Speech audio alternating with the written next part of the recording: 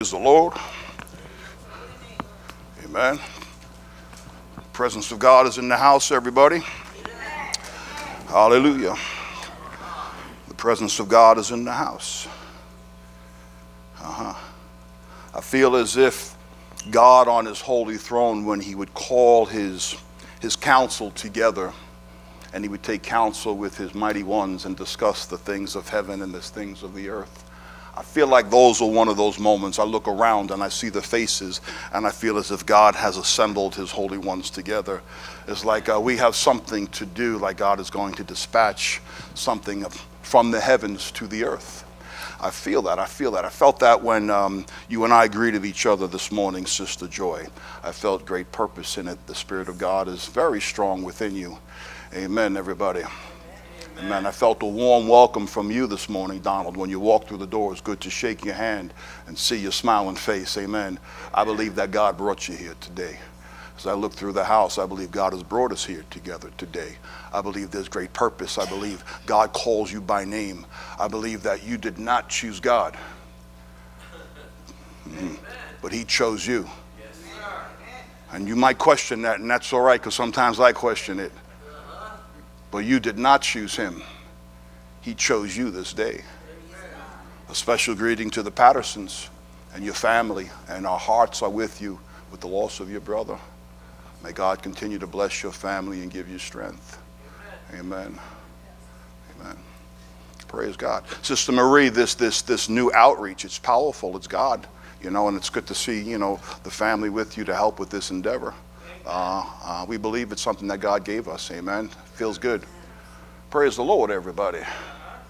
I want you to know, Tony and Patrick, it's good to see you guys in the house always.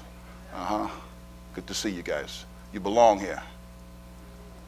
Your father Lester made sure of that. You belong here. That's right. An honorable mention to your father. He was a good man. Uh-huh. And your mom. To those online, greetings. If you know Pastor Phil is not in the house today, he was on his way down. I got a call. He drives from exit 250. He called me at exit 230. Said, Mike, I'll tell you what, what was in between the lines. I think there's great purpose to today. And uh, Pastor Phil is online today. Is that right, Brother Keith? Pastor Phil is online today, and uh, I believe meant by God. I think he was supposed to be online today. So, everyone who is online today, I want you to know that there's a pastor online. Your pastor is online with you today. I think it was meant to be. So, Pastor Phil, why don't you let him know that you're there? and to all those online, um, your pastor is online today. So, reach out to him, talk to him. Uh, if you have your questions, uh, ask them. Uh, because uh, if anyone can answer him, he can. God bless you, everybody. We here at New Image Ministries, we want to uh, wish you all a happy Thanksgiving this week. And uh, we want to pray that God will impart and breathe into you on this Thanksgiving day, very uh, um, simply the spirit of thanksgiving. So, as you have taken time to be in the house of God on this week, may at this time, may He breathe into us all the spirit of thanksgiving. Amen. And, and, and, that you would know, quite frankly, something I want to talk to you about today, that you would know the power of being thankful. There's a uh, mystery about it all. There's a mystery about it, the power of being thankful. And yes, I want to start with the 92nd Psalm. So if you have your Bible, Brother Keith is always available to us. Let us turn to Psalm 92.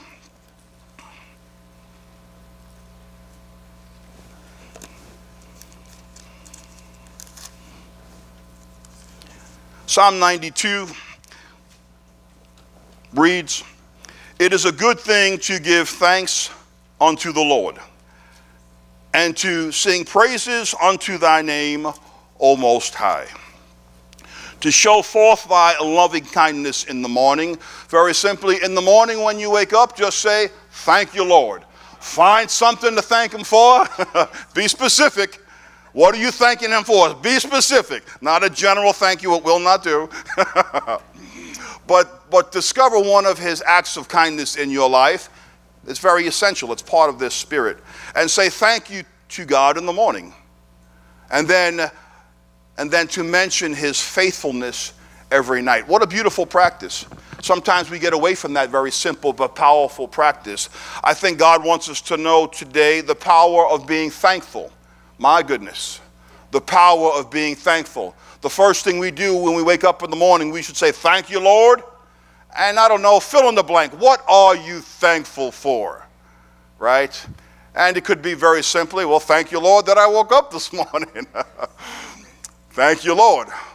As the preacher once said, I say, Thank you, Lord. I have not sinned yet. It's been a real good day, but I'm getting ready to get out of bed now, and uh, I wonder how long this is going to last. so, even if it's just for a millisecond in the twilight or just opening your eyes, say, Thank you, Lord, for uh, so far, so good. but then when you lay your head down to, the rest, to rest at night, I pray that this would be a practice that we could rediscover. I pray it for myself and for you as well. Perhaps when you lay your head down on your pillow, you could remind yourself again and say, Thank you, Lord, for your faithfulness.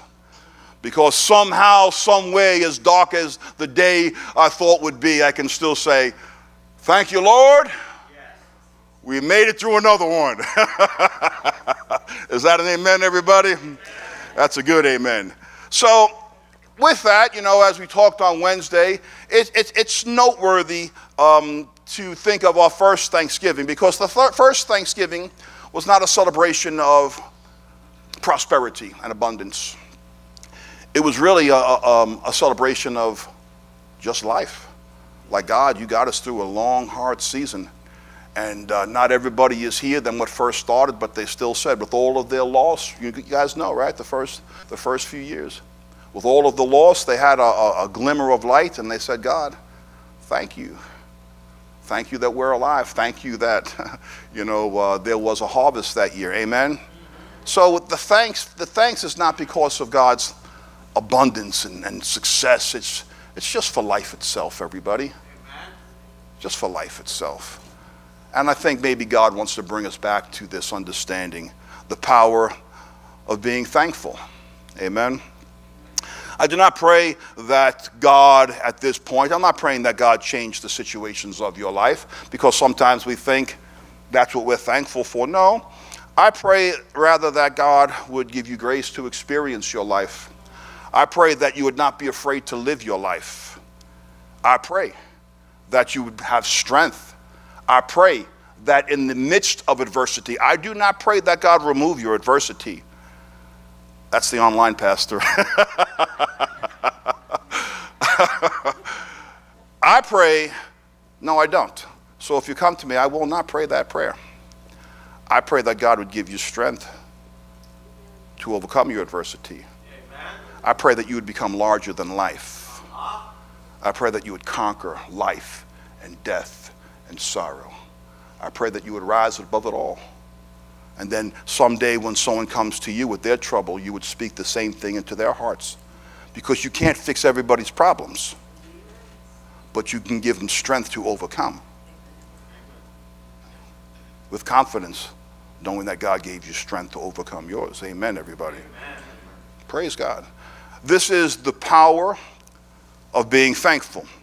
With that, I'd like to turn to another passage. How about 1 Thessalonians chapter 5? We'll start with verse 16. I'm going to wait for you, Brother Keith, because this is a few words in that one that uh, we're going to take a look at together. So, 1 Thessalonians 5:16. As far as the rendition, Brother Keith, you're on your own as usual. but which one you got? We'll take it. I'll tell you what. I'm going to read yours. All right. which one is that? Okay, New King James. Okay, everybody.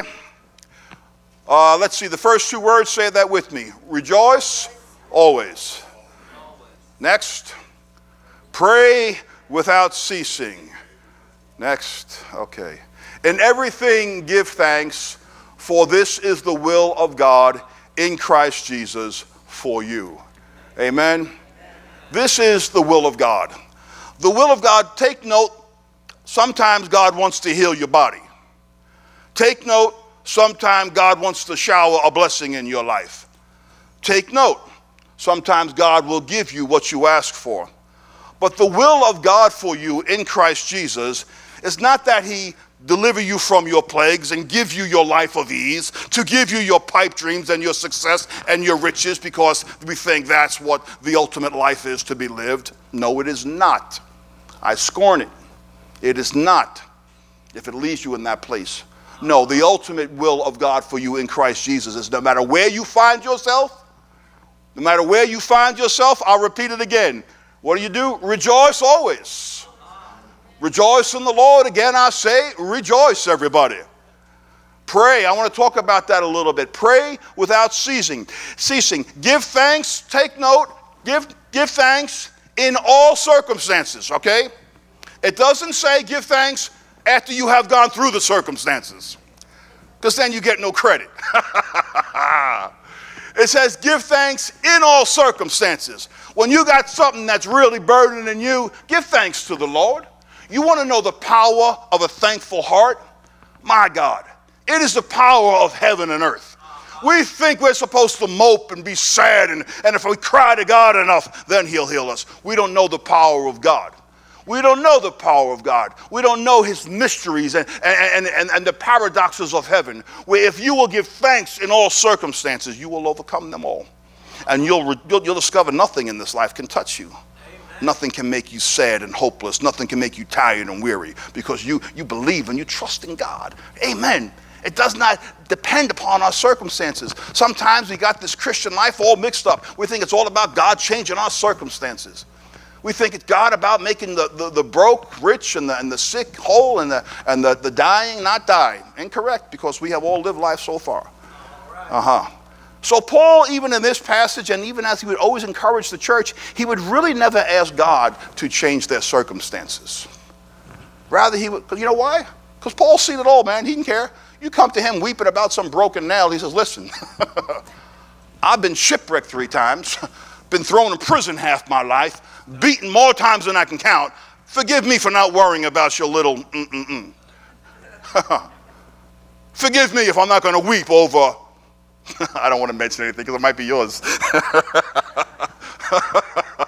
it might be what you're weeping about right now, so I don't want to insult you. but Paul would say, Forgive me if I don't weep over it. He says, Rather, I say this give thanks in all things. He says, I'd rather give you a mystery than pray that your sorry woe go away. I probably, I, I, I would rather unlock the mysteries of heaven that few people know, few people touch. Christians rarely take hold of it because we all want this pie in the sky. God, God called us to be rich and prosperous. What a terrible message. It certainly is not the gospel. It certainly is not the gospel. I don't know what that message is. It's not the gospel. Oh my goodness.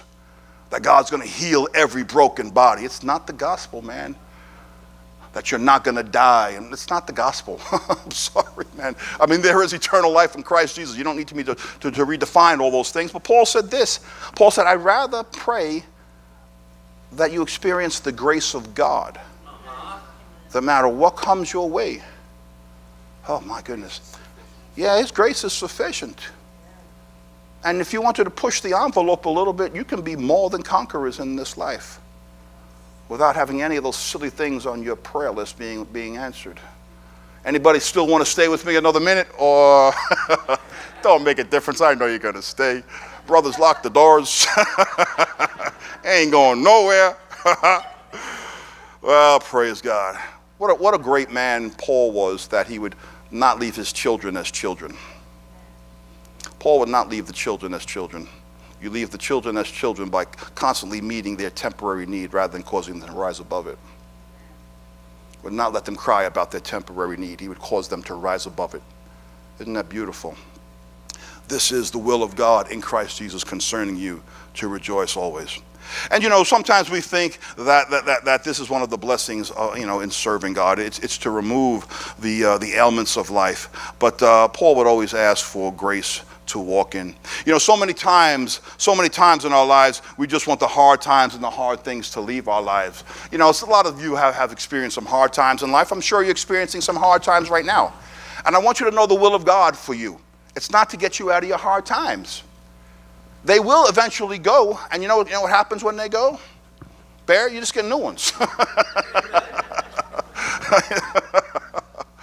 and, I, and I, I, know, I know there was a, a passage in the Bible where Paul would say, For me to live is Christ and to die is gain. And he would always say, like, I know it's better for me to be with the Lord, but it's better for you if I'm with you. And therefore, he said, I'd rather engage in your life and in the troubles of your life rather than me to leave your troubles and live my life of paradise, if you will. And I say with that, listen, we're all encouraged to, to enter into the hard times of life for ourselves and for someone else. Sometimes it's easy to disengage from people, it's easy to disengage from hard times, but God says, don't do it. God encourages us. I know He does. He encourages us. We were talking about that today, Peg, to enter into your hard times, but also enter into somebody else's hard times. Amen.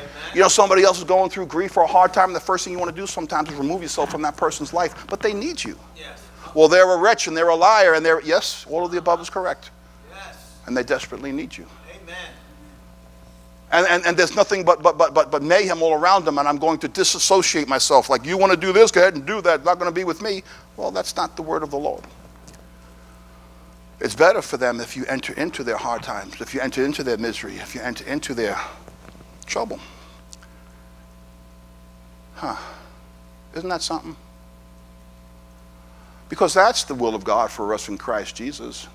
It's to engage life with each other, to live it, to help each other. And then at the other end, we laugh and we, and we, and we rejoice over our victories, everybody. Praise the Lord. Let me see what I'd like to do here. Let's see. Let me give you three keys, okay? It's Thanksgiving week. I want to give you three keys. I'm not a three keys kind of a guy, but I want to give you three keys today. All right? Today I want to I want you to experience the power of God. And I want to give you three keys to experience that power of God. Three keys. Number 1. It's, it's found in 1 Thessalonians 5:16. The first one is very simple. It says this. It says, you remember what it said? Rejoice. Yeah, that's right. it said rejoice, and how often do we rejoice? Yeah. Now, just in my own self, listen, I don't hear that. I don't like that tagline. I don't appreciate it at all. Don't tell me to rejoice always. Most of the times I don't want to rejoice. I'm not a smiling kind of a guy. I'll endure, but I won't, I won't laugh about it. But you see, rejoice always. I want to give you a key. Key number one. Note that this isn't necessarily the experience of joy, but it's the expression of joy. That means it's a choice. It's a choice. It's not the experience of joy, it's the expression of it. Be happy. Be happy. Express some kind of joy that's in your life. Don't wait for it to overcome you. Why don't you just grab hold of it and experience some joy?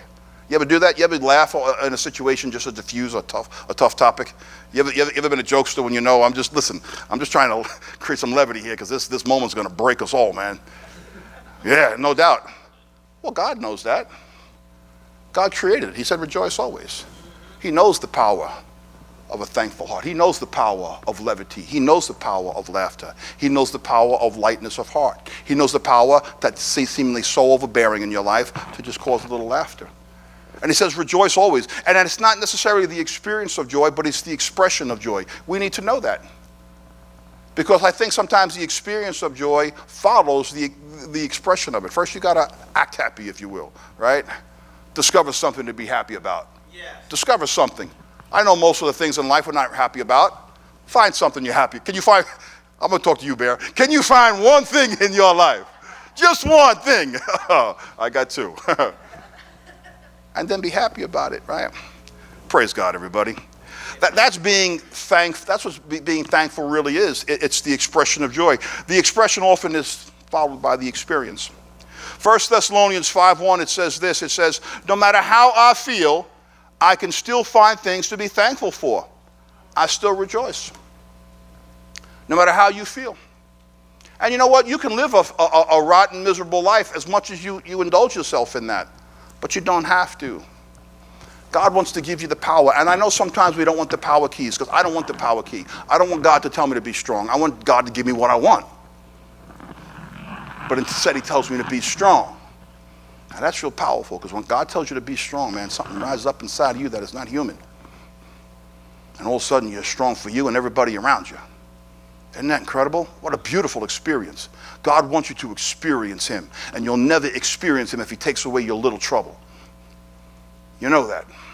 He's got to give you hardships so you know how strong you are. Hmm. yeah, that's right. You're strong enough to take care of you and everybody around you. Yeah, that's right, everybody.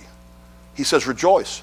And, and, and a simple way of rejoice, it's really, you know, it, it's also, um, you know, it's a change of mood. I, I, see it also as, as worship. I, I see it as music. You know, you know how music can, can quickly change anybody's mood, right? Um, I think, mu- I don't think, I know music is a gift that God has given us. It was created in the heavens. Music was created in heaven. It's a gift. The reason why this earth has music, I don't want to put tags on it, good music, bad music. Look, music, it, what does they say? It calms the savage beast. All the time when we're on the job sites, what's the first thing we do? First thing in the morning, guys. What's the first thing I say every morning? Get the radio. Get the radio. Get the radio. Music is a gift of God. Here's the one key I want to give you play music. You're having a hard time, sometimes you're driving down the road, you just want silence. I'm going to encourage you, put the radio on. Amen. Is that all right, Chris? Just put the radio on, man. Get out of your head, man. You're at home and the quiet, it seems too quiet in the home. What do you do when you're sitting by the pool, Dad? You, you put the radio on. my dad, I, my dad has the CDs. I know. Does anybody else have CDs besides my, my elder father? forgive me and forgive me. My dad's got these CDs. He's got the Phil Driscoll. He's got Dino. He's got names that nobody knows anymore. Oh, Randy. Well, don't get me started on Randy. but his CD player was broken, and so we got him a new CD. Thank God they still sell CD players, right? Oh my goodness. So my dad was able to play his music again. Can you attest to the power of music? Pastor Dad? Yes. It is the power of God. It changes us. Amen. It changes us. It gives us strength. It gives us joy. It gives us hope. I want you to know music is not is created in heaven to get you through this life. Uh huh. One, one power key right there. One power key. Put the radio on, everybody. Amen. Praise the Lord. Praise the Lord. All right, number two. Number two was pray continually. Now, this one fascinates me. Pray. It's not something we don't know. We're Christians. We know you're supposed to pray. But as I read this, it kind of gave me proper understanding once again. Have you ever wondered why? This is rhetorical. I say to myself, have you ever wondered why you really pray? Like I often have heard people say, Why should I pray to a God who already knows everything? I, I have done this. Why should I pray? God already knows my broken heart. Why do I got to go through the pain of telling about it? He knows. God already knows my situation. Why do I got to tell him about it? You ever wonder that? Sometimes I wonder that. Why pray if God already knows everything? He already knows my thoughts. And I say that's a valid point. But we often forget that, that this, I often forget, even as I read this this morning, prayer is not for me. Or, or, or, it's, it's, it's, it's not for God to, to hear about my woes and my worries. Yes, yes, He does know. But it's not as if, you know, God doesn't need to hear us pray. He, he isn't in heaven saying, I feel so weak right now. I need people to pray to give me strength. You ever see the movie Elf, where uh, Santa's um, sled was losing power? And he needed people to believe in him to make the, the sleigh fly. That's not our God. he don't need your prayer to help him fly. What I meant to say earlier is prayer is not for God. Prayer is for me. It's not for me to inform God. It's not for me to prayer is for me. Prayer is to say I need God. I need God. Prayer is to say, God, I, the moment I open up my, my, my, my mouth to pray, I know God is with me instantaneously. You want to have a second key? This the first key is what? Music, music, Joyce. The second key is prayer. Uh-huh. And you say, I don't got to pray. So, many times in my life, I wouldn't pray. It's like I'm not going there again. You ever, you ever done? I'm not praying. I'm not praying that prayer again. I prayed it for years. I'm not praying it no more. I'm not crying about that silly thing again. But prayer, it is the power of God. Yes. Prayer releases the power of God. Uh-huh. Huh. Prayer gives you the ability to get through it. Yes. Prayer could sometimes, forgive me, take a, take a frown and turn it upside down. Uh-huh. yeah. Prayer is for you. I encourage you when you are in a place of struggle or toughness, a hard place, say a small prayer. Say a small prayer. You ever say small prayers? Say, oh, God, help me. Sometimes, if I have more words in my arsenal, I'll say, God, give me the grace. You ever pray that one? Because I we've already discussed He's not changing your situation. so I say, God, give me the grace to be kind to this person. You ever do that one? Like you have no more patience left. Who's the person in your life that you have no more patience for? Starting with you, Sister Sandra. well, uh, you should have said my name. Well, you, sir. Who is the person in your life that tries you the most? say, Lord, and I say this one often. Sometimes I say, God, give me the grace to be kind. I feel like I'm going to really trance on this one right now. Give me the grace to be kind. Would you allow kind words, maybe actions to come out of my mouth? Because right now, do you understand any human yeah. beings out there? Yeah. Prayer is for us. I say, say a small prayer. Mm-hmm. Help me, Lord, give me grace. Give me peace.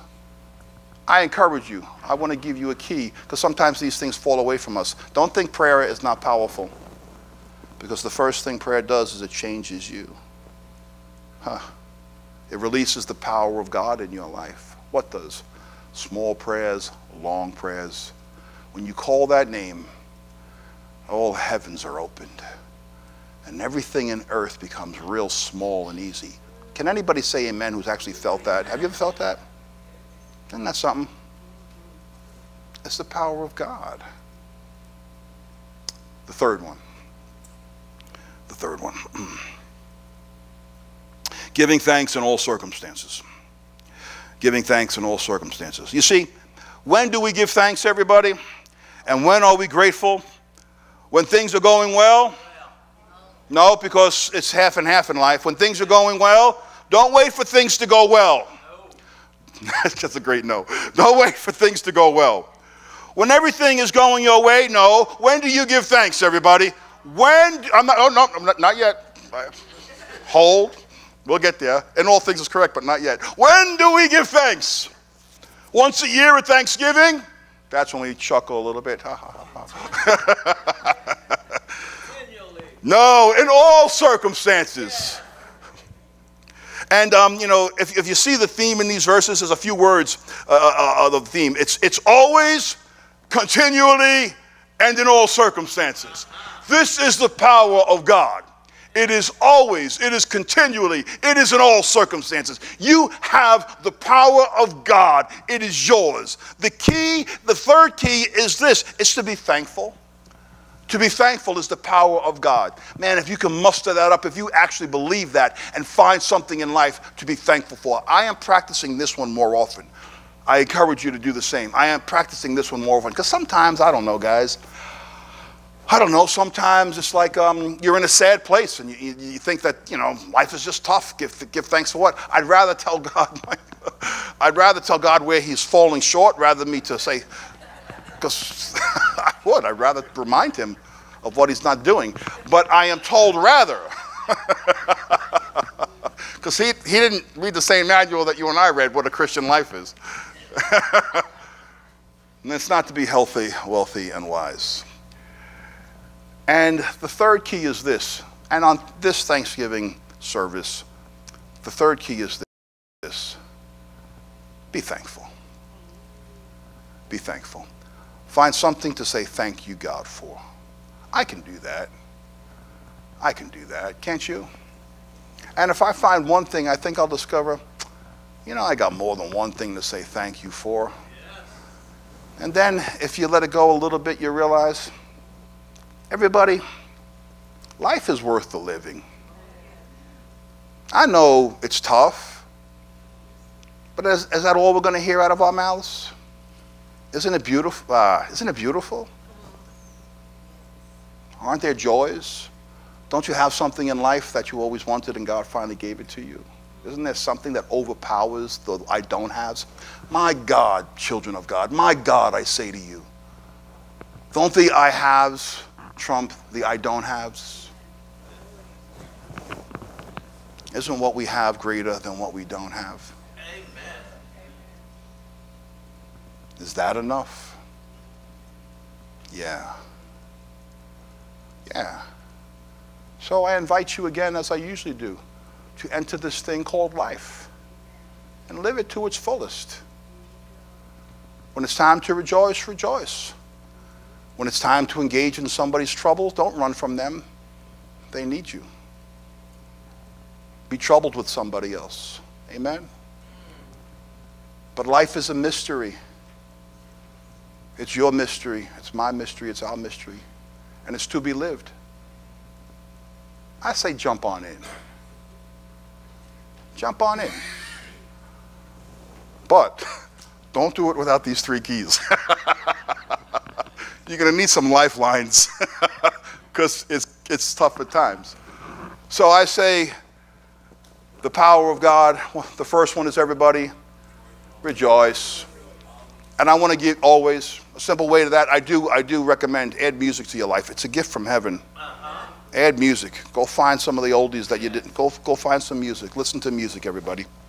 The second one is to pray. It's to pray. Prayer is for us, everybody. Prayer will introduce the power of heaven into your moment, into, into your moment situation. I say pray. You're overwhelmed, pray. Two words, three words. How about just one simple word? Who said that? Bingo. Help. All right. And on this Thanksgiving Day, I say, be thankful. Find something to be thankful for. Don't just say thank you, Lord, okay? Find something. Find a specific thing in your life that you're thankful for and say it out loud. You want to say it with somebody or just by yourself? Say it out loud. Maybe like the Psalm 92 said, when you wake up in the morning, find something specific to say thank you, God, for. When you go to bed at night, find something specific to say thank you for. What happened in that day that was good in God? Find something. This is the power of God to live this life. Amen, everybody. I'm going to ask our praise and worship team to come on up forward. I'm going to thank Pastor Phil for being online today. Praise the Lord. All right, God bless you all. Why don't we stand?